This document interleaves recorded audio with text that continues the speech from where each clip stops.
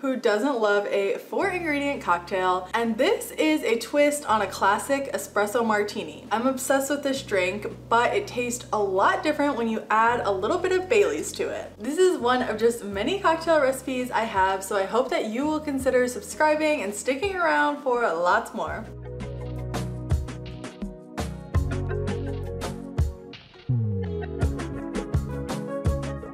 To make this cocktail, first grab a shaker and fill it partway with ice. Then we're gonna add two ounces of freshly brewed espresso. Okay, next is the main ingredient, and this is Baileys, which isn't usually in an espresso martini, but this is what makes it a unique espresso martini. You'll need two ounces of Baileys, along with one ounce of your favorite vodka. Then to make this drink sweet, we're using one ounce of simple syrup. Feel free to adjust if you don't like your cocktails quite as sweet. Then it's time to shake it all up. You want to shake for 15 to 30 seconds until the drink is well chilled and frothy on top. Then we're gonna double strain using both a Hawthorne and a mesh strainer into a chilled martini glass. Similar to the traditional espresso martini, this one has lots of nice foam on the top, which personally makes it so enticing to drink. Then you can garnish with three coffee beans, which again is the classic garnish. And that's it. This drink is so simple to make. I promise you you're gonna love it, especially if your go-to drink is an espresso martini. The full recipe along with tips and tricks is linked in the description below.